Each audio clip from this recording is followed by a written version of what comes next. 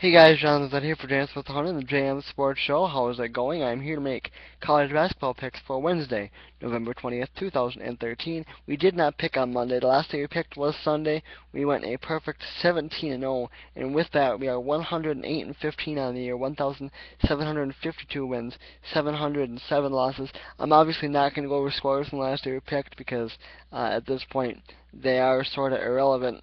But I will tell you that in college basketball, we did get wins on Sunday from Michigan State, Duke, Arizona, Syracuse, Florida, UCLA, Virginia Tech, Wake Forest, Providence, Florida Gulf Coast, Rutgers, Seton, uh, Seton Hall, Texas, Alabama, Texas Tech, Colorado, and California to give us the 17 and 0 uh, record. We will go over scores and let didn't pick. I will go over the top 25 scores from Tuesday. Uh, number 2, Kentucky beat Iona 86-66. Number 3, Louisville took down Hartford 87-48.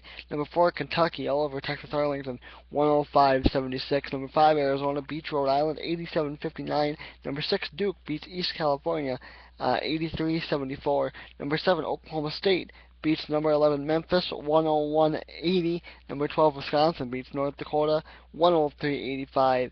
And 17th ranked Oregon beats Utah Valley uh, 69 to 54. All right, let's take a look at the picks for Wednesday, first on the top 25, American University takes on 8th ranked Ohio State. Give me Ohio State. Number 14, Wichita State and Tulsa. Give me Wichita State. Charleston Southern takes on 23rd ranked Baylor. Give me Baylor. Number 21, Ohio State takes on BYU. And give me Iowa State.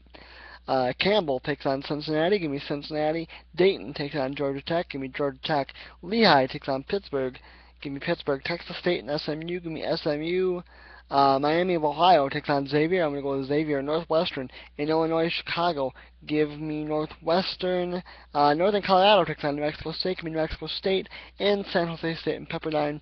I am going to go with Pepperdine. Alright, guys, that is going to do it for me. I am John Numbers Up for Fans 100 and the JM Sports Show. Don't forget to like the JM Sports Show page on Facebook. Link in the description. I will see you guys later.